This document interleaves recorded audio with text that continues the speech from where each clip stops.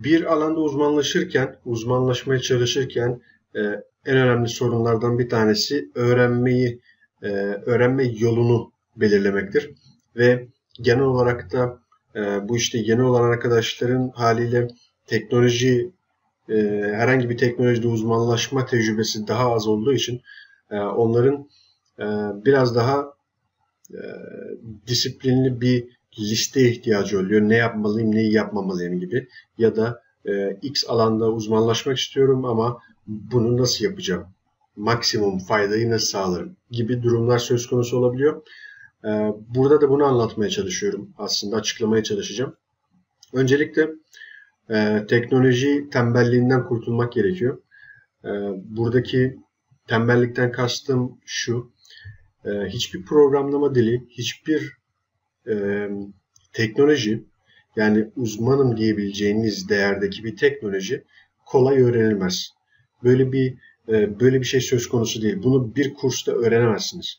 Bunu bir kitapta da öğrenemezsiniz. Bunu bir ay içerisinde de öğrenemezsiniz. Bunun için zaman gerekir ve disiplinli bir çalışma gerekiyor. E, bu özellikle en temel anlamda söylemem gereken bir durum. E, ve genel bir e, diğer yanlış kanı da şu. Hiçbir teknoloji bir videoyu ya da bir kursu izleyerek öğrenilmez. Ya da ben bir kitap aldım o kitapta çok iyi anlatıyordu. E, hepsini de okudum, öğrendim diyerek olmaz. Bunu e, mesela bir yazılımı öğrenmek için, yazılım teknolojisini öğrenmek için onunla uğraşmanız gerekiyor. Biz buna ellerini kirletmek diyoruz teknik tabirle. Ellerini kirletmen lazım. Onun e, o kitapta bahsedilen her şeyi e, hem okuyup hem de uyguladığın zaman uyguladıktan sonra da kendi düşüncenle o kodları değiştirip farklı e, düşünceler katarak yazdığın zaman öğrenmek için bir adım atmış oluyorsun. Aksi halde teorik bilgidir. Onları hatırlamayacaksın da zaten. E, öğrendim de diyemezsin çünkü kullanamazsın. Kullanamadığın bir şeyi öğrenmemişsindir. İzleyerek de aynı şekilde e, biz bu video kursları sadece ben değil e, birçok profesyonel arkadaş video kurslar hazırlıyor hem YouTube hem farklı platformlarda. E, bunları e, hazırlarken zaten mevcut bir tecrübemiz var. 3 yıl, 5 yıl, 10 yıllık farklı alanlarda da tecrübeler var. Bunlarla birlikte bir hazırlık dönemi daha geçiriyoruz. O hazırlık döneminde bir müfredat çıkartılıyor, içerikler oluşturuluyor vesaire planlı bir şekilde hazırlanmış tecrübeyle yoğrulmuş bir çalışmadan bahsediyoruz burada. Ee, zaten bilerek bunlar anlatılıyor ve e, siz sadece izleme modundayken bunları öğrenmeniz, böyle bir şey düşünmeniz mümkün değil. Bu nedenle izlediğiniz şeyi de ister YouTube olsun ister herhangi bir ortam olsun bunları uygulamak zorundasınız öğrenmek için. Ee, ve uyguladığınız bir şeyi değiştirerek tekrar uygulamanız gerekiyor. Yani eğitmen bir değişken tanımladıysa, bir şey yaptıysa sizin o değişken adıyla da adı da dahil, e, yaptığı işte dahil değiştirip kendi bakış açınızla farklı bir şekilde e, uygulayarak bunu e, tekrar yazmanız gerekiyor. Bilgi kaynakları da diğer bir sıkıntı günümüzde. E, internette çok fazla kaynak var. Bu bir video, bir video kurs, bir kitap olabilir, makale olabilir vesaire herhangi bir şey olabilir. Ee, bu bilgi kaynaklarının öncelikle kendinize e, kaliteli diyebileceğiniz e, referanslı e, kaynakları edinmeniz gerekiyor. Öncelikle şunu söylemeliyim. Herhangi bir programlama ya da öğrendiğiniz alan neyse o alanda tecrübesi olmayan birisinden eğitim alıyor olmanız bu sizin hatanızdır. O eğitimi hazırlayan kişinin değil.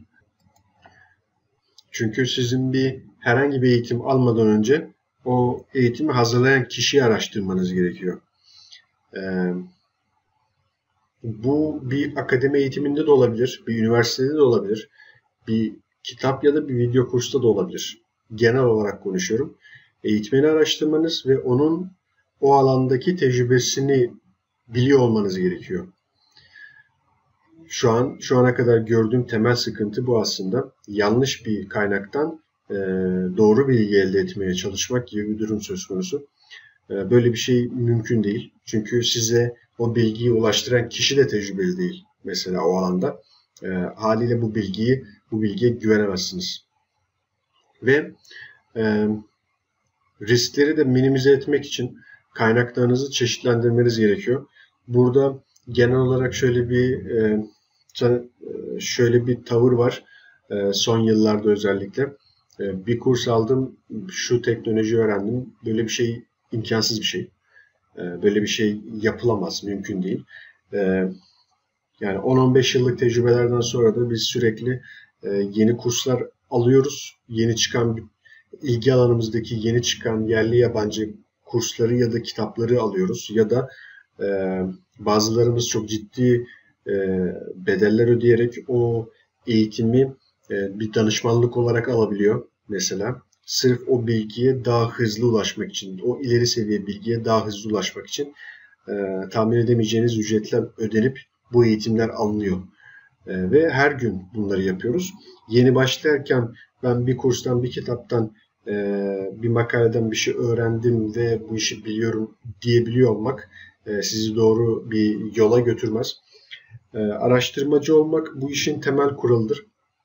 Araştırmacı e, araştırmacı olmak da yazılımcı olmak aslında e, temel prensiplerde aynı şeyler. Bir yazılımcı araştırmacı olmak zorundadır. Aksi halde ne öğrenebilir ne de proje geliştirebilir. Araştırmacı olmak da sabır gerektiriyor ve e, sizin bu alanlarda e, ciddi zaman harcamanız anlamına geliyor. E, belli bir zamanı doldurmadan olgunlaşamazsınız. Burada 10.000 saat kuralından bahsetmeyeceğim. E, ama ciddi bir zaman harcayıp o alanda kod yazıyor ve ellerinizi kirletiyor olmanız gerekiyor ve sürekli okuyor olmanız lazım. Bu araştırmadan kastım bu. Ve e, Gene çok sık rastladığım e, sıkıntılardan bir tanesi de burada e, özellikle belirttim. Önce araştır, sonra sor. Çünkü e, yazılımda hatasız kod yazamazsınız.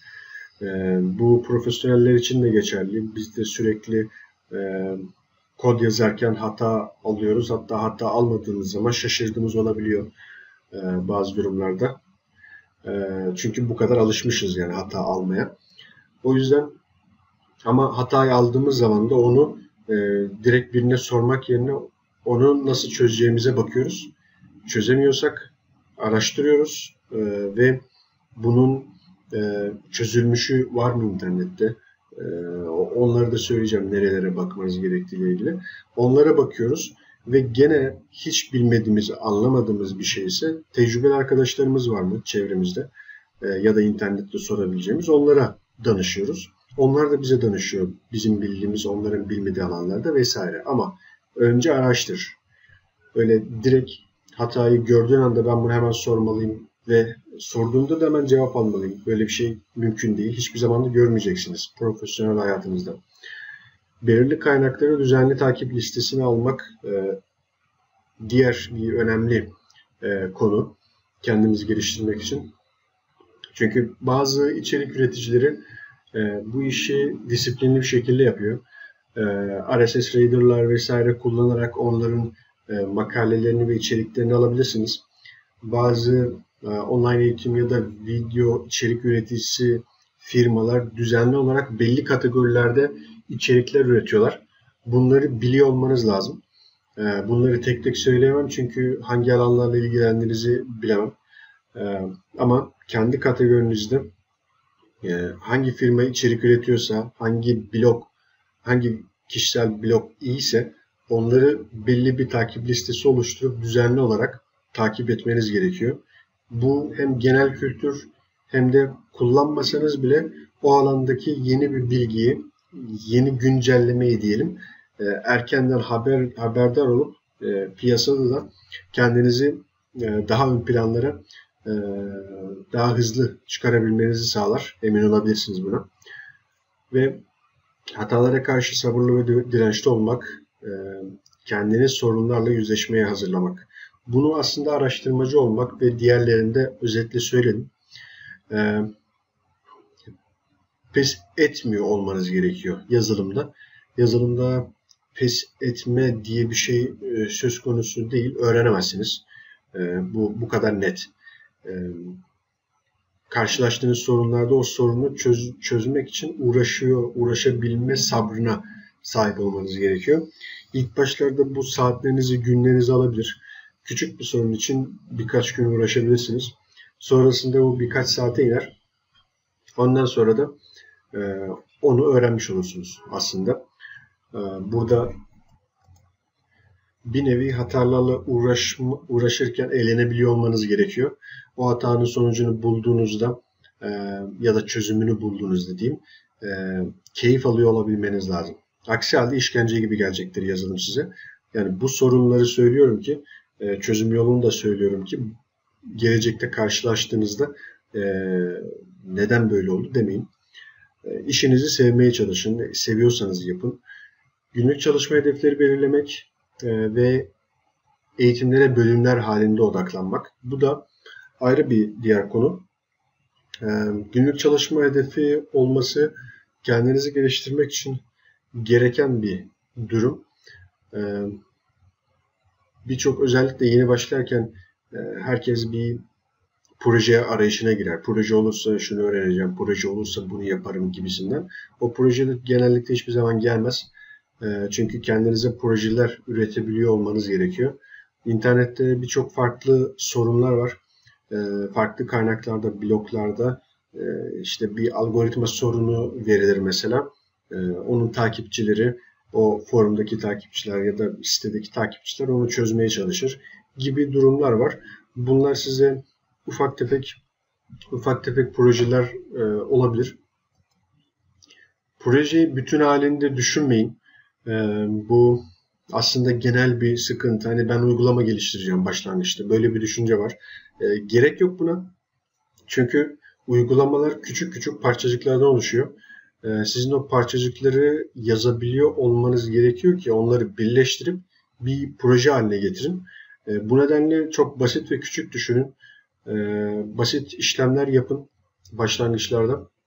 Ondan sonra zaten bir e, orta seviye ya da başlangıç orta seviye ya da başlangıçta büyük proje olmayabilir ama orta seviye bir projede siz zaten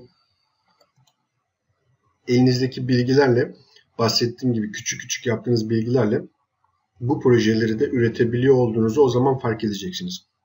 O zamana kadar fark edemeyeceksiniz işin gerçeği. Bu nedenle projeler önemlidir.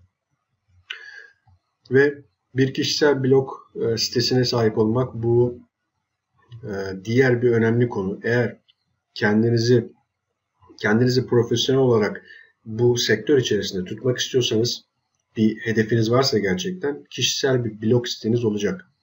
Bu temel bir e, gereksinim ve düzenli olarak bir şeyler yazmanız gerekiyor. Bununla ilgili şöyle bir örnek vereyim. Ee, neden kişisel blog? Bu birçok tecrübeyle sabit, sabit aslında. Birincisi size bir e, disiplin kazandırır. Düzenli olarak bir şeyler üretebiliyor olmak, içerik üreticisi olabiliyor olmak. Bu size bir disiplin kazandırır. Bu faydalıdır. E, ayrıyeten kendinize ait bir ortamın olduğunu e, hem siz bilirsiniz hem de sizin çevreniz, e, sizi takip edenler bilir bu şekilde. Hem de şöyle düşünün. Bir iş başvurusu yapıyorsunuz. Diyelim ki e, üniversiteyi okuyorsunuz. E, mühendislik ya da herhangi bir şey önemli değil. Mühendis ya da üniversite okumanıza da gerek yok iyi bir yazılımcı olmak için. Bu da ayrı bir konu. Ayrı bir mit aslında. İşte X üniversitesinde e, mühendis olmuş ve PhD yapmış vesaire vesaire. Bunlar hikaye. Ee, siz kendinizi geliştirip e, o bahsedilen üniversitelerde okumadan da profesyonel olabilirsiniz. Hem, hem de o okuyanlardan daha iyi olabilirsiniz. E, zihninizdeki bu sınırları yakın o konuda. E, blog sitesine dönecek olursak e, şöyle düşünün. E, bir iş başvurusu yapacaksınız. Stajyer olarak ya da junior developer olarak e, bu karşı tarafta da sizi seçecek olan insanlar var. Ellerinde 5 tane CV var. E, 4 tanesi e, Örneğin C Sharp biliyorum diyor, SQL biliyorum diyor vesaire vesaire. Hepsi aynı. Beşi de hepsini biliyor.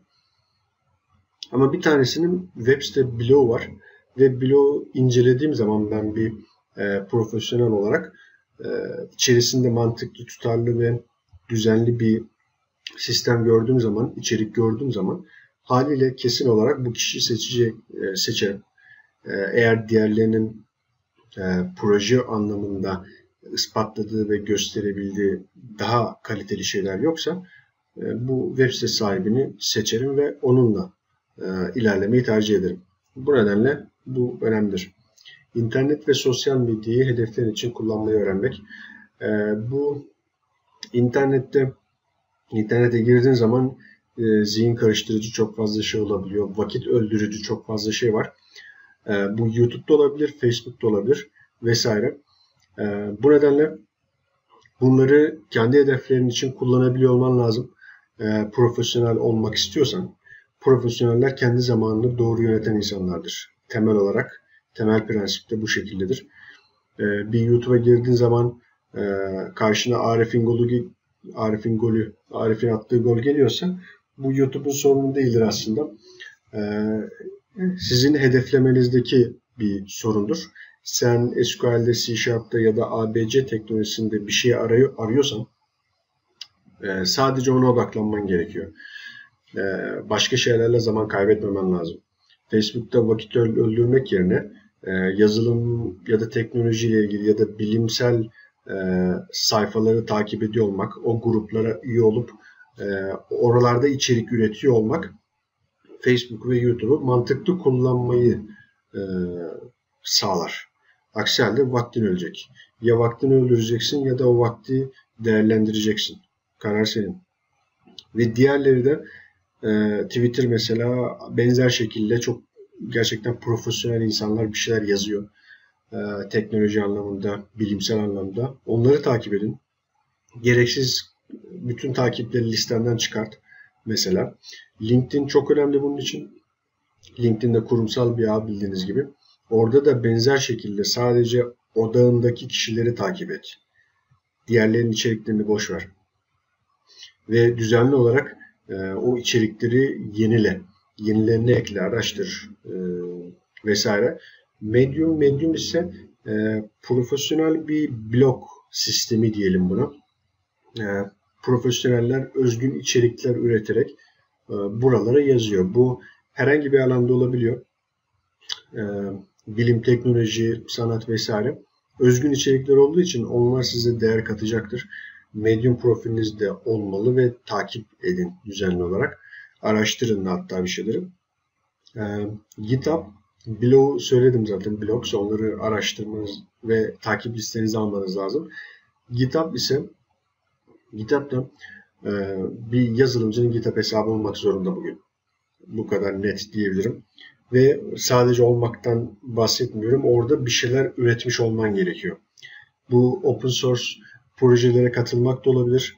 Kendi yazdığın ufak tefek kod ya da programcı programcıkları e, GitHub profilinde yayınlamış olmak da olabilir. E, bunlar da mümkün. Bunları yapın ve düzgün bir e, yapıya sahip olsun. E, çünkü bir yere iş başvurusu yap, yaptığınızda bunlar bunları inceleyecek. GitHub profiline bakacak. Karşındaki kişi profesyonelse. Değilse zaten senin orada ne işin var diye düşünebilirsin. Yani profesyonel birisi GitHub profiline, bloguna vesaire bakar bakmadan e, sana bir iş teklifi yapılmaz. E, yapıyorsa da senin orada olmaman gerekiyor. Yanlış bir yerdir çünkü.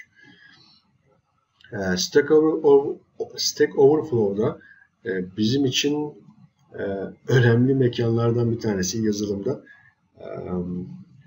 Yani yazılımda herhangi bir teknolojide bir hatayla karşılaştığın zaman Google'a yazdığın zaman ilk çıkanlardan biri mutlaka Stack Overflow'dur. Ee, bir yardımlaşma derneği gibi düşünebilirsiniz orayı da.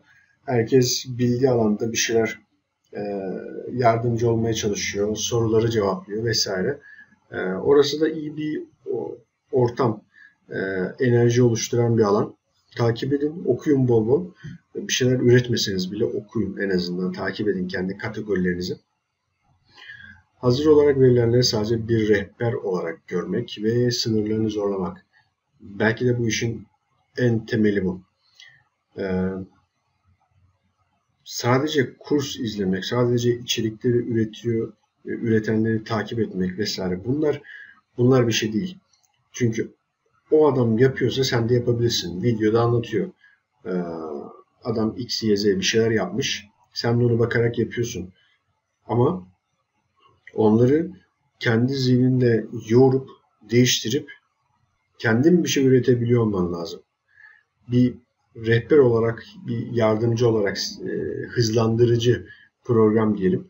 Onları kullan ama hiçbir zaman onlarla onlara bağımlı kalma. Kendini araştır, hatalar yap. Hata yapmıyorsan öğrenemiyorsun demektir. Özellikle yazılımda. Kendini zorlamak zorundasın yani. Ve mevcut bilgiyle yetinme. Bu da diğerleriyle aynı.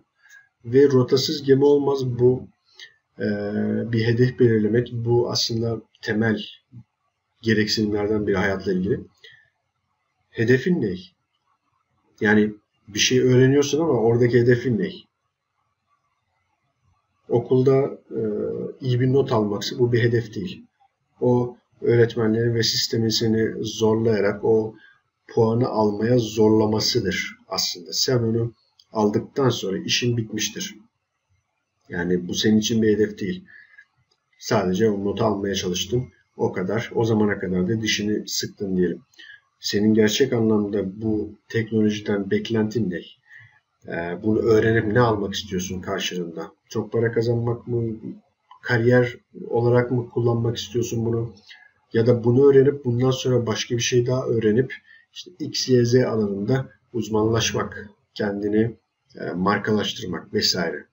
Ya da X firmasına girmek. Çünkü o X firması bu teknolojiyi kullanıyor vesaire. Böyle hedeflerin var mı? Hedefin yoksa hedefin olmak zorunda. Hedefe giden bir plan da yapmak zorundasın aynı zamanda. Ee, sadece hedef e, hedefim var demek bir hayaldir. Bir plan yoksa, o plan içinde çalışmıyorsan ve motivasyonunu her an diri tutman gerekiyor. Kendini motive edemeyen başarıya ulaşamaz. Dışarıdan bir gaz motivasyon bekleme. Ee, bunu çok sık görüyorum çünkü. Ee, şu olursa bunu yapacağım, bu olursa bunu yapacağım vesaire bir bakıyorsun 5 yıl geçmiş halinde o olursa bunu yapacağım diyen kişiler var.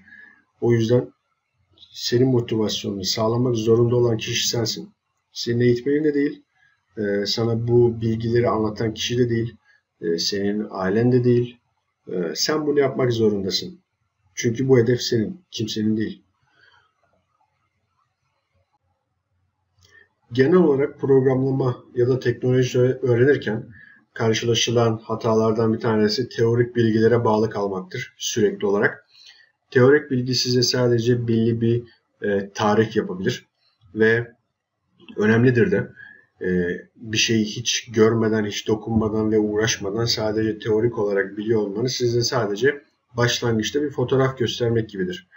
Ama sizin o işi öğrenebiliyor, usta olabiliyor olmanız için elinizi e, kirletip o işi öğren öğrenmeye çalışıyor olmanız lazım. Bu nedenle kitaplar, kurslar vesaire bunların her biri size bir başlangıç fikir sağlar, gerisinde hiçbir şey yapmaz. Siz öğrendiklerinizi şöyle düşünebilirsiniz bir yemek tarifi gibi. Ee, yemek tarifine bakıyorsun. A kişisi ona baktığı zaman e, daha profesyonel bir şey görüyor çünkü tecrübesi var. B kişisi ona baktığı zaman hiçbir şey görmüyor çünkü hayatında hiç yemek yapmamış. Bunun gibi düşünebilirsin kendini. Ee, kitaplardan bol bol bilgi alacaksın ama e, tecrübe kazanırken kitaplarla ve diğerleriyle besliyor olman lazım. Eğer ilmeli bir şekilde hızlı öğrenmek ve profesyonelleşmek istiyorsan bu teorik bilgilere çok ihtiyacın var. Bu net. Ee, ama eğer ellerini kirletmeden, kod yazmadan, uygulama, pratik yapmadan bu kaynakları okuyor, izliyorsan hiçbir şey. Tamamen vakit kaybı. Çünkü unutacaksın da. Çünkü zihnin onları öğrenmedi. Sen onları yapmadın. Beynin öğrenmedi. Uygulamadığı için. Bu nedenle Ee, temel prensip eğitim materyalleri size sadece yol gösterebilir, size eğitmez, eğitemez. Siz kendiniz eğitirsiniz ve e, bir şeyleri yaparken de o kaynakları okuduğunuz zaman zihniniz onları e, hızlı öğrenecek. Çünkü ya diyecek ki ben bunu yaptım, bir şeyler uğraştım.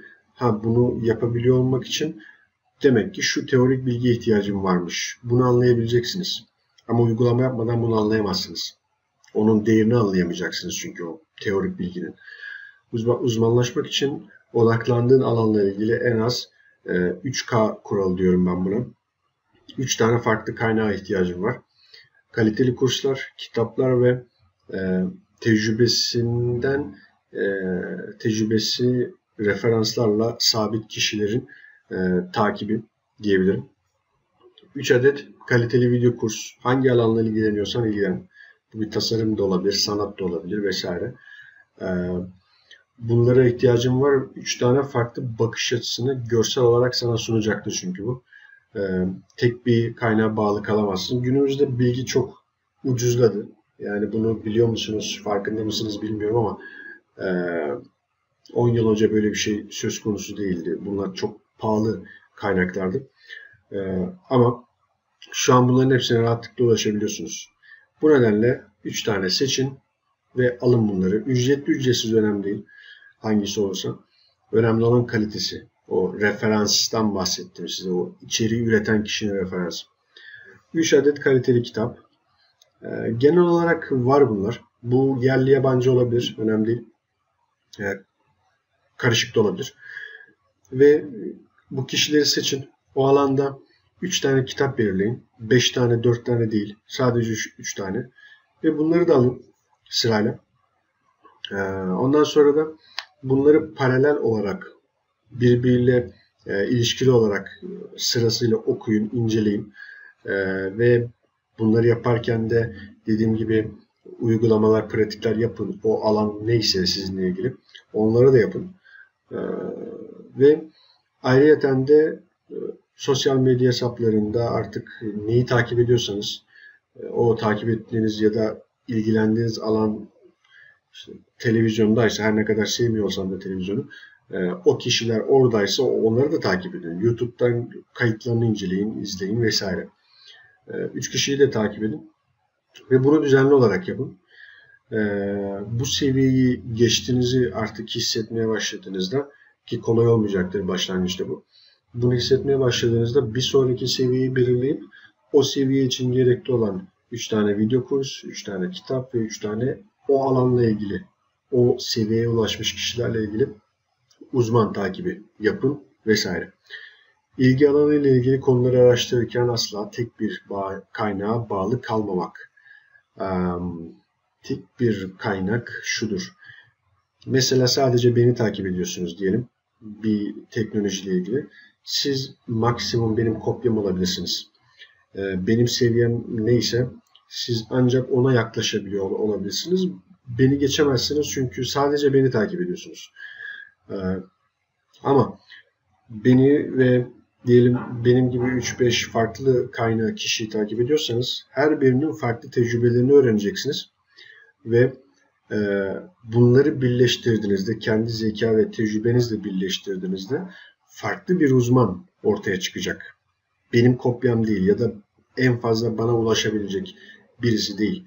Tamamen farklı tecrübe ve bilgilerle e, oluşmuş, tecrübe kazanmış farklı bir uzman olursunuz. Bu nedenle tek bir kişiye bağlı kalmayın. Hiç kimseyi de kendinize limit olarak belirlemeyin. Bu karşınızdaki ne yapmış olursa olsun limit olarak belirlemek en büyük sınırlayıcıdır zihninizde. Ee, sadece takip edin onun bilgilerini ve bilgilerinden faydalanın, içeriklerinden. İzlemek ve okumak teoriyi, pratik yapmak ise özgüven ve tecrübe kazandırır. Nokta. Ee, özgüven ve tecrübe izleme ve okumayla olmaz. Bunu unutun. Bunu size kim tersini söylerse o, o kişi de bunu bilmiyordur. Yani bu kadar net. Ee, bir şeyi yaparak onun özgüvenine sahip olabilirsiniz. Hiçbir proje yapmadan sadece milyonlarca teorik e, ıvır zıvır biliyor olmak size onun özgüvenini vermeyecektir. Ve tecrübesini de kazanamayacaksınız. Sadece teorik bir bakışınız var. O, ve bu da hiçbir şeydir aslında. Özetle pratik yapmak mükemmel iştir. Bir Amerikan atasözüydü sanırım bu. Practice makes perfect. Özellikle yeni başlayanlarda bir hata ile karşılaşıldığında teknik olarak nasıl davranacağını bilmek sizi en azından stresten kurtarır ve nasıl davranacağınızı bildiğiniz için sorunu da çözebilme ihtimalinizi artırır. Ve bulunduğunuz ortamın gereksinimlerini anlamanız gerekiyor temel olarak. Bir hata ile karşılaştığınızda ne yapacaksınız? Öncelikle yazılım eşittir hatadır. Burada bir e, teknik olarak üretilmiş bir şeyden bahsediyoruz ve çok kompleks bir sistem. Burada hata olmama ihtimali yok. Sürekli olabilir. Ürün geliştirirken binlerce hata görebilirsiniz. E, geliştirildikten sonra yayın esnasında da e, sürekli yüzlerce hata olabilir. Bu durumlara hazır olmanız gerekiyor. Ve e, bu nedenle de ben yazılımcıya genel olarak sorun çözen insan diyorum. Bu e, sorun çözme yeteneğini e, size kazandırır yazılımcı olmak. Ve diğer yandan da şu da bir diğer gerçek. Eğer e, hatalara karşı sabrınız yoksa yazılımcı olmanız biraz zor olabilir. E, ya da canınızı sıkabilir bu süreç. E, bu nedenle profesyonel yazılımcılar biraz da sabırlıdır. İşin gerçeği. E, çünkü zaman ve karşılaşılan sorunlar bunu size öğretir. Bunu bir alışkanlık haline getirir e, profesyonel yazılımcılar. E, bazı durumlarda sabırlı olmak zorundadır. E, çünkü birkaç gün bir sorun üzerinde uğraşmak herkesin yapabileceği bir şey olmayabilir. Bu nedenle bir şey öğrenirken özellikle teknik anlamda, bilimsel anlamda bir şey öğrenirken sabredin ve sadece araştırmanızı düzenli olarak disiplininizi koruyarak e, çalışmaya devam edin. Ve bir diğer konu e, bahaneyi başkalarına atmak. Yani sebep olarak başkalarını görmek. Şimdi bu farklı şekillerde olabilir. Yani yıllarca belli alanlarda uzmanlaşmış birinin size anlatacağı çok şey olabilir. Ama e, yeni başlayanları kastediyorum özellikle. Yeni başlayanların e, bunları anlaması mümkün değil. Çünkü o yılları ve tecrübeleri görmedi. Bu nedenle başlangıçta bir tecrübeli kişi, tecrübesinden emin olduğunuz kişi size belli bir konsept sunuyorsa, belli bir çözüm yolu sunuyorsa onu takip edin. Ve e, profesyonel birinin hazırladığı içeriği de eleştirirken öncelikle bir e, test etmeniz gerekiyor. Ben bu konuda hangi seviyedeyim ve bu e, oluşturulan, üretilen içeriği e, eleştirebilecek, teknik olarak eleştirebilecek bir e, birikimim var mı mesela? Bunu sormanız gerekiyor kendinize. Çünkü bunu sunan kişi profesyonel bir kişi. E, ve karar vermeden önce işte sorun eğitimde, sorun eğitmende vesaire bunları söylemeden önce e, öncelikle bir tartmanız gerekiyor. Çünkü bunun kaybı size olacaktır. E, siz kendi sorunlarınızı fark edemeden e, bu mesela bir şey yapamadınız diyelim, o anda olmadı, e, faydalanamadınız o içerikten vesaire. Böyle bir durumda e, siz eğer kendi sorununuzu e, sorununuzun farkına varamazsanız e, siz gelişemeyeceksiniz. Bunun dezavantajı size olacaktır. Bu nedenle alabildiğiniz kadar bilgi alıp ve e,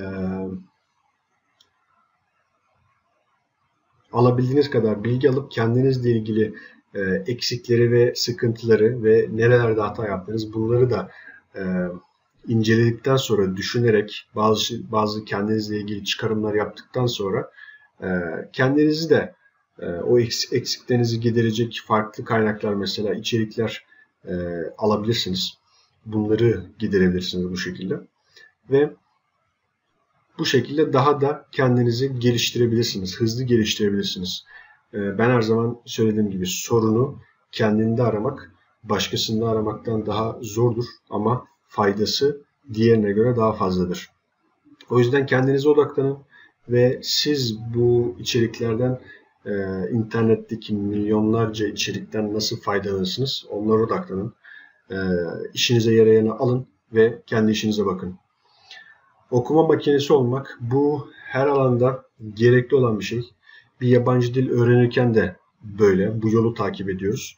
Yeni bir teknoloji öğrenirken de onun dokümantasyonları ve internette işte o satın aldığınız kitaplar şöyle böyle hepsini okuyabiliyor olmanız gerekiyor. Okumanız gerekiyor.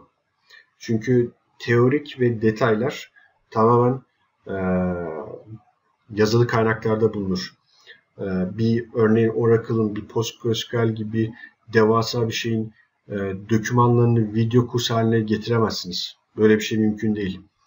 Getirirse bile siz e, hayatınızın belki bir ayını falan sadece izlemekle geçirmek zorunda kalırsınız. Böyle bir şey mümkün değil. O yüzden yazılı içerikler üretiliyor zaten ve bunları takip etmemiz gerekiyor. Arama motorlarına hakim olmak bu da e, aslında genel olarak araştırmacı kültürünün temel bir gereksinimi. Hangi alanda çalışıyorsanız çalışın %90 oranında arama motorlarına ihtiyacınız var. O yüzden de genel olarak bir arama motoru nasıl kullanılır, püf noktaları nedir, istediğiniz içerikler nasıl bulunur bunları araştırmanız gerekiyor. Bazı püf noktalar var. Onlara odaklanmanızı tavsiye ederim. Bu sizin vaktinizi daha e, etkili kullanabilmenizi sağlayacak. Vakitten tasarruf yapacaksınız yani. Sormadan önce araştırma kültürü. Bunu daha önceki videolarda anlattım. Ee, araştırırsanız öğrenirsiniz, öğrenirsiniz. Sorarsanız öğrenme e, durumunuz sadece o anki e, sorun, karşılaştığınız sorunun çözümünü bilmek anlamına gelir. Yeni bir şey öğrenemezsiniz. Ama araştırırsanız onu pratik yaparak öğren öğrenmiş olursunuz. Bu nedenle önemlidir. Çözülen bir hatayı internet üzerinde paylaşma kültürü. Bu çok önemli. Ee, yani birilerinin e, sizin karşılaştığınız sorularını, sizin karşılaştığınız sorunların çözümünü e, bir makale, bir video olarak paylaşması nasıl hoşunuza gidiyorsa, çünkü size hem zaman hem para kazandırıyor bu tür içerikler değil mi? Ee, sizin belki iki gün, üç günde yapacağınız şeyi adamın birisi e, bir makalede anlatmış çünkü o kişi sizden daha tecrübeli ya da o kişi onu yaşamış ve demiş ki ben bunu anlatayım birileri faydalansın ve bu size belki iki gün kazandırdı belki de e, tabii ki bunun sonucunda bir, bu bir iş olduğu için size para da kazandırmış oldu. Sizin de bu aldığınız bilginin yerine bir şey koymanız gerekiyor internete. Bu çok önemli. Ve hatalardan öğrenmek. Her yaptığınız hata, her bu projede olabilir. Yani sizin öğrenirken karşılaştığınız bir şey olabilir. Bu yaptığınız hataları e, bir süzgeçten, değerlendirme süzgecinden geçirip e, bunların sonuçlarında neler yapabiliyor, neleri düzeltebiliyorsunuz bunlara odaklanmanız gerekiyor. Parça parça bütün hataları e, çözüp ee, bir araştırmacı kültürüyle ben şu hatayı nasıl çözerim? İşte şu şu alanda kendimi geliştirirken şöyle bir sorunla karşılaştım. Bu benim eksiğim mesela. E, ya da şurada hata yaptım. Bir sonrakinde bu hatayı yapmamak için ne yapabilirim gibi durumlarla kendinizi test ederek sürekli kişisel olarak da geliştirmeniz gerekiyor. Merhaba arkadaşlar. Bu dersimizde bir programlama dili nedir ve programlama dillerine genel bir bakış yapacağız. Bunun üzerine konuşacağız. Ee, akademilerde verdiğim eğitimlerde öncelikle ilk dersimizde programlama dilinin ne olduğunu anlatmaya çalışırım ve farklı farklı programlama dillerini analiz ederiz ve bunlarla neler yapıldığını anlatmaya çalışırım. Ee, bunun nedeni ise şudur. Yeni başlayan arkadaşlar için programlama dilinin e, gerçekten neler yapabildiğini bilmek zor neler yapabildiğini bilmeleri gerçekten zordur. Yeni başlayanlar için söylüyorum bunu. Ee, hedefleri farklı bir alandır ama kullandıkları ya da öğrenmeye başladıkları programlama dilleri çok farklıdır. Ee, ya da yanlıştır diyelim. O yüzden ilk başta doğru bir şekilde tanımlayıp size de bir vizyon kazandırmak için bunları anlatmak istiyorum. Eğer programlama dillerinde tecrübeniz varsa bu bölümü geçebilirsiniz. Programlama dillerinde ekranda gördüğünüz basit bir e, resim üzerinden aslında birkaç örnek vererek anlatacağım. Hepsine giremeyeceğiz tabii ki. Programlama dillerinde en sık kullanılanlardan bazıları burada gördüğünüz C'dir, C++'dır, Python, Java, C Sharp ve PHP gibi dillerdir. Şimdi öncelikle tam olarak ne yapmak istiyorsunuz? Buna karar vermeniz gerekiyor. Mesela web programlama mı? Web programlama üzerine mi kendinizi geliştirmek istiyorsunuz? Sistem programlama mı? Embedded sistemler mi? Yani gömülü sistem deniyor buna. Yoksa oyun programlama mı? Yoksa veri tabanı programlama mı? Ya da ben tamamen niş dediğimiz yani özel bir alanda e, çalışmak istiyorum. Bu da yapay zeka mesela. Böyle bir şey mi? Ya da robotik mi geliştirmek istiyorsunuz? Uzay uzay teknolojilerinde e, teknolojiler üzerine yazılım geliştirmek de isteyebilirsiniz. Bu tamamen sizin hedeflerinize bağlı bir durum. E, o zaman programlama dillerini doğru seçmeniz gerekiyor. Öncelikle buradaki ana başlıklardan gidecek olursak web tarafında uygulama geliştirmek istiyorsanız mesela burada kullanabileceğiniz Java var.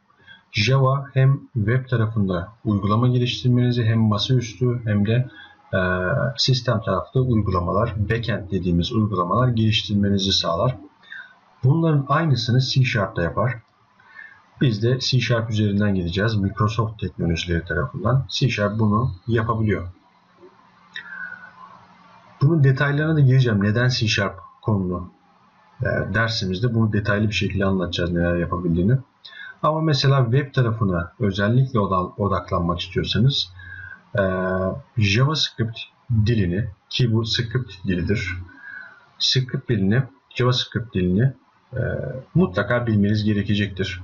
Ya da iOS tarafında uygulama geliştirmek istiyorsanız Objective-C dediğimiz dili sonradan tabii ki dili değiştirdi e, Apple e, Swift diline geçti ama Objective-C'yi hala destekliyor. Bu da C'nin türevi bir dildir. Zaten adı üzerinde Objective-C. C'den kalıtım alarak geliştirilmiş bir dildir. iOS tarafında tamamen bu alana yönelmeniz daha mantıklı olabilir. Burada da şöyle bir durum var. Natif programlama yani doğal Türkçesi biraz farklı ama doğal programlama dediğimiz e, ya da e, cross platform uygulamalar geliştirme tarafına yönelebilirsiniz. Bu ne demek? Natif programlama demek bir platformun desteklediği orijinal dille geliştirilmesidir. Mesela Android'de Java'yı kullanmak. Çünkü natif olarak Google e, Android programlamada yapabilmeniz için Java'yı seçmiştir ve bu onun natif dilidir. Ama siz JavaScript HTML5'te de bir cross platform mobil uygulama geliştirip Android'de, iOS'ta çalıştırabilirsiniz.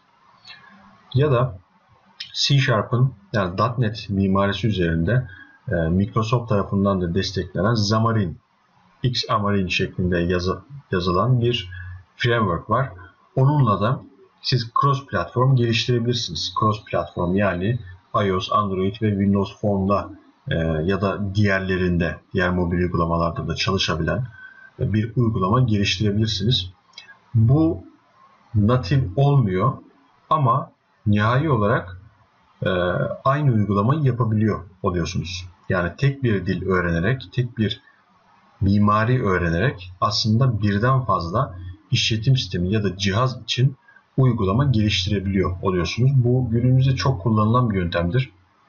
Çünkü e, bir programcı birden farklı alanda birden farklı cihaz için uygulama geliştirmesi gerekebiliyor. Özellikle kurumsal firmalarda ya da startuplarda, girişim firmalarında çalışıyorsanız hızlı bir şekilde farklı platformlara desteklemeniz gerekecektir. Burada da kimse oturup da e, Android için Java'cı bulup, iOS için Objective-C'ci bulup, Windows Phone için C Sharp'cı bulup vesaire bu, bu tür süreci uzatıcı ve maliyeti artırıcı işlere girişmez. O yüzden de cross platform çok yoğun kullanılır ve bundan sonra da bence e, daha sık kullanılacaktır cross platform olayı. Kaldı ki cross platform tarafında da ciddi bir şekilde performans artırıcı yenilikler yapılıyor. E, performans tarafında da çok ciddi farklar kalmadı artık native ile cross platform tarafında. E, bunları araştırabilirsiniz. Tabi burada e, özel bir odaklanma istiyorsanız mesela embedded sistemlerde çalışmak istiyorsanız gömülü sistem dediğimiz e, mimarilerde ki bu da elektronik kart kartlara yazılım geliştirmektir aslında temelde.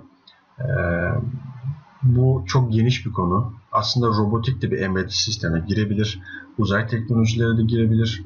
Ee, ya da evinizdeki buzdolabı embedded sistem olarak düşünülebilir. Onun içerisindeki yazılım da gene embedded'dir. Burada da C kullanılabilir. C'nin içerisinde kısmen assembly kodlama yapılabiliyor. Ama genel olarak C ile bu iş hallediliyor diyebiliriz. Python mesela machine learning ya da günümüz tabiriyle e, big data ve machine learning kategorilerinde yoğun bir şekilde içerik bulabileceğiniz ve destekli e, daha yoğun desteği olan, daha çok open source aracı olan e, ya da daha open, daha çok open source kaynağı olan e, kütüphanesi olan vesaire bir dil istiyorsanız o zaman Python bu iş için tercih edilebilir. Python Big Data ve Machine Learning tarafından ve bir de Security bu Ethical Hacking tarafında yoğun kullanılır. Bunun aslında tek bir sebebi var. Python ile ilgili çok fazla open source e, kod var diyelim.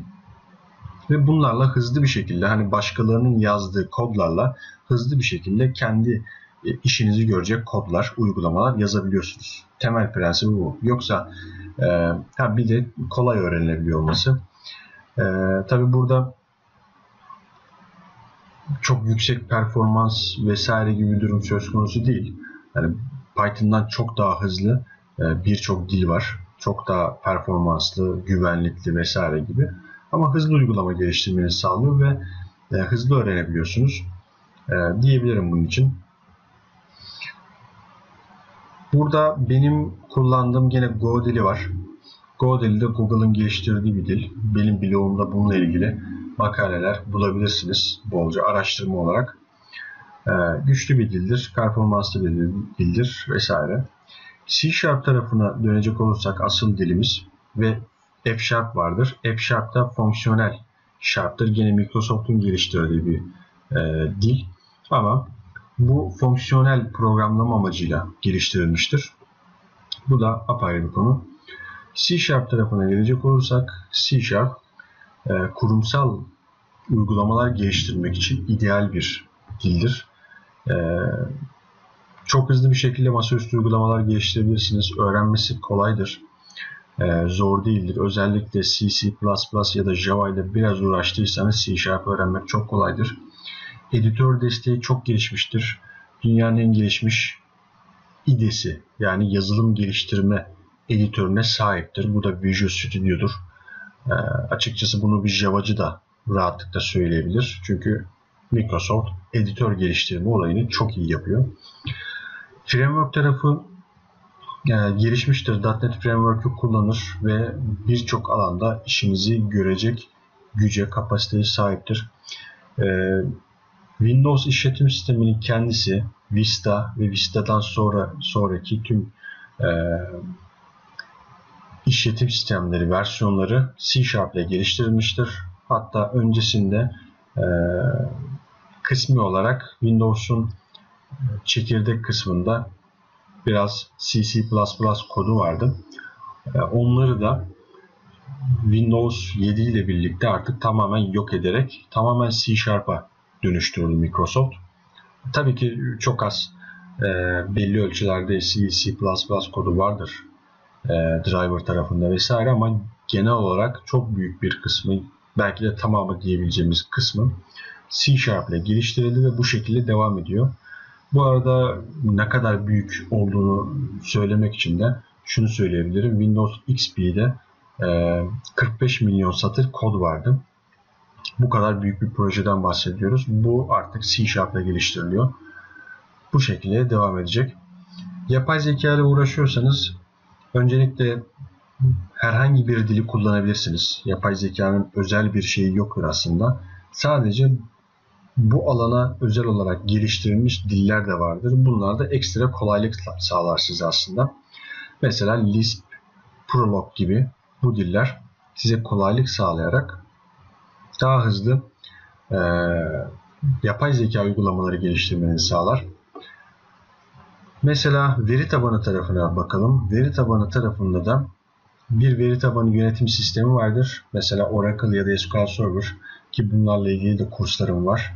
Ee, takip edebilirsiniz blogumdan. Bunların kendi içlerinde kullandığı programlama dilleri de vardır. Bunlara da örnek verecek olursak SQL Server'ın veri tabanı programlama dili Transact SQL'dir. Ee, Oracle'ın ise PLSQL'dir. Prosedürel SQL olarak geçer. Ee, şuradaki. Bunlar da birer programlama dilidir ama sintaksi normal bir Java ya da C Sharp'a benzemez. Onlar daha çok daha eskiden kullanılan dilleri örnek alarak daha basit e, sintaksa, söz dizimine sahip dillerdir diyebiliriz. Yani özetlemek gerekirse programlama dilini seçerken öncelikle o dilde neler yapıldığını bilmeniz gerekiyor ya da neler yapmak istediğinizi bilmeniz gerekiyor. Bu şekilde de ilerlemeniz gerekir. Ee, ancak C Sharp başlangıç için ve özellikle Türkiye şartlarında Türkiye'de çok yaygın olarak kullanıldığı için e, tercih edilebilecek bir dildir. Bunu neden C Sharp konulu e, videomda daha detaylı bir şekilde anlatacağım. Belki de e, kursun ve genel olarak teknolojinin e, teknoloji öğrenmenin en önemli, en önemli konularından bir tanesi. E, bir şey öğrenmeye çalışıyoruz. Bir hedefiniz var. Mesela veri tabanı teknolojileri üzerine bir hedefiniz var. Ama özellikle yeni başlayanlar için bu durum söz konusu. O alana girerken o alanda neler olduğunu gerçekten bilmiyoruz. E, bu bilmemekten kastım onun çevre, ortam dediğimiz o teknolojinin ortamı, o teknolojinin kültürü ve bu işe girdiğimizde nelerle karşılaşabileceğimiz gibi konuları bilmiyoruz. Biz de yeni başlarken bunları bilmiyorduk. E, ama 10-15 yıl önce e, teknoloji biraz daha farklıydı. E, farklı şeyler vardı. E, kafa karıştırıcı olan çok fazla şey yoktu. E, ve zamanla çok fazla şey gördük. Şimdi yeni başlayanlar için temel bir sıkıntı var. E, başlayacaksın ama o kadar fazla şey var ki nereden başlayacaksın, nasıl başlayacaksın ve amaç ne? Bunu belirlemek biraz sıkıntılı oluyor. Bu nedenle özellikle birkaç video hazırlamak istedim bunlarla ilgili. Bu da onlardan bir tanesi. Neden veri, tabanı, veri tabanı teknolojilerini seçtiğini gerçekten farkında mısın? Bunu biliyor musun? Sorusunu kendimize sormak gerekiyor. Ee, eğer bunların cevaplarını biliyorsanız direkt devam edebilirsiniz zaten. Ee, buradaki temel durum şu. Ee, veri tabanı teknolojileri çok fazla gelişti ve kategorize hale geldi. Her kategori içerisinde e, her kategori farklı ihtiyaçlar için tasarlandı ve o ihtiyaçlar içerisinde de gene farklı ihtiyaçlara karşılık gelen veri tabanı teknolojileri var. Şimdi veri ile ilgileniyorsanız e, bunların en azından ne olduğunu biliyor olmanız yani ben veri tabanı teknolojine girdim. PostgreSQL, SQL Server ya da Oracle'dan başladım ya da MySQL'den. Ama karşılaşacağım örneğin benim benden kastım siz. E, benim hedefim şu. Buraya giderken diğer hangi çevre e, teknolojilerini öğrenmem gerekiyor. Bunları bilebiliyor, anlayabiliyor olmanız lazım. E, öncelikle bunu sormanız lazım. Ben veri tabanı teknolojilerinden ne istiyorum? Bir web programcısı olabilir, bir e, mobil uygulama geliştiricisi olmak isteyebilirsiniz, bir X e, alanda uzmanlaşmak isteyebilirsiniz vesaire. Ama sizin buradaki konumunuz nedir? Buna göre çünkü e, o teknolojide hangi seviyeye kadar derinlere inmeniz gerektiğini ve o teknoloji, o veri tabanının e, yan olarak da şu şu şu ürünlerini e, öğrenmeniz gerekecek gibi bir durum söz konusu. Bu nedenle bilmenizde fayda var. Veri tabanı programcısı mı yoksa DBA mi olmak istiyorsunuz? Bu başlangıçta bilmek biraz zor bunu. Hani bunun ikisinin ayrımını bilmek. Ee, programcı ve DBA arasındaki temel fark Database Administration kısmında programcıların yazdığı, geliştirdiği e, sistemin yönetimi söz konusu. E, yani bir kapsayıcılık durumu söz konusu ve ek olarak uzmanlaşılması gereken farklı alanlar da var. Biraz daha derinlere inmeniz gerekir DBA tarafından. E, programcılığın kapsayıcısıdır. Veri tabanı programcılığının kapsayıcısıdır. Database Administration. Çünkü bütün süreçlerin hakim hakim olmanız gerekiyor bu şekilde. Bu durumda şunu bilmenizde fayda var. E, hedefiniz bir alanda DBA olmaksa bir veri tabanında e, o veri tabanında öncelikle iyi bir programcı olmanız gerekiyor. Bu en temel e, bilmeniz gereken durum bu başlıkta. Günümüzde veri tabanı teknolojileri e, dallı budaklı hale geldi. Başlangıçta da söylediğim gibi. Sadece tek bir veri tabanı üzerine uzmanlaşamazsınız. Ee, yanında en az birkaç çevre teknolojisi biliyor olmanız lazım. Bu hedefinize göre değişir tabii ki. Ama temel olarak böyledir. Mesela veri tabanları artık cloud dediğimiz ortamlarda e, sunulur hale geldi. O zaman sizin cloud hakkınızda da hakkında da bilgi sahibi olmanız gerekecek. Ya da e, örneğin e, artık depolama tarafında veri tabanı depolama veri depolama tarafında e, XML ve JSON gibi e, veri yapıları da kullanılıyor ve e, bunların sorgulamaları vesaire bunları da biliyor olmanız lazım. XML nedir, e, JSON nedir gibi. E, çünkü web ve diğer sistem uygulamalarında e, veri odaklı uygulamalarda artık veri tarafında bunlar kullanılıyor genellikle. E, en azından yarısında diyelim bunlar kullanılıyor ve bunları bilmeniz gerekecek. RD, RDBMC, e, Relation Database Management System ve NoSQL çözümleri. Burada e, daha önce dediğim gibi mesela 10 yıl önce bir SQL Server, Oracle e, ya da tek başına PostgreSQL bu sizin ihtiyaçlarınızı görebilirdi. Şu an yine görür ama e, gereksinimler çerçevesinde artık NoSQL kavramları çok ciddi anlamda kullanılıyor. E, bunun içerisinde farklı çözümler var. MongoDB, Redis, e, Cassandra gibi daha onlarca farklı var. Bunları da ek olarak biliyor olmanız gerekiyor. E, en azından hangi durumda neyi kullanmanız gerektiğini araştırmalısınız. E, bazı durumlarda çünkü e, performans ve e, proje gereksinimleri gereği NoSQL çözümleri kullanmak zorunda kalacaksınız. E, yani kritik verileri örneğin PostgreSQL ya da bir Oracle'da bir SQL Server'da tutarken kritik olmayan verileri daha performanslı olması için NoSQL sistemlerde tutmaktan bahsediyorum mesela. Şimdi bu sizin e, daha performanslı ve profesyonel sistem geliştirmenizi sağlayacak bir bilgi ve bunu bilmelisiniz. Veri tabanı teknolojilerinde ayrıca cloud computing dediğimiz e, bu Microsoft'un Azure, Amazon'un e, AWS yani web servisleri ya da Google'ın Google Cloud çözümleri vesaire. Bunlar hakkında uzman olmanıza gerek yok. E, açıkçası başlangıçta uzman olmanıza gerek yok ama e, teorik olarak hangisinin neler yapabildiğini araştırmanız gerekecek. E, bu sizin e, projenizi belki ileride cloud'a taşımanız gibi durumlarda ya da e, çalıştığınız firmada doğrudan cloud üzerinde örneğin PostgreSQL ya da SQL kullanma gibi durumlar söz konusu olabilir. O zaman onun sınırlayıcı ve mimari e, durumlarını biliyor ve anlıyor olmanız gerekiyor cloud computing'in ve nasıl çalıştığınızı vesaire.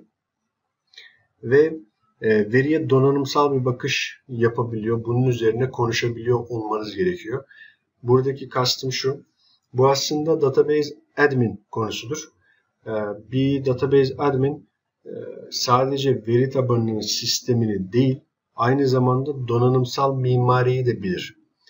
Bir sistemci kadar değildir ama bir sistemcinin bilmediği kadar da donanımsal bir hard disk e, hard disk yapısını bilir. Bilmesi gerekir. Çünkü veri tabanı yazılımları e, çok gelişmiş bir veri yazma ve okuma mimarisine sahiptir. E, bunun detaylarına girmeyeceğim. Farklı veri tabanları farklı davranır bu konuda.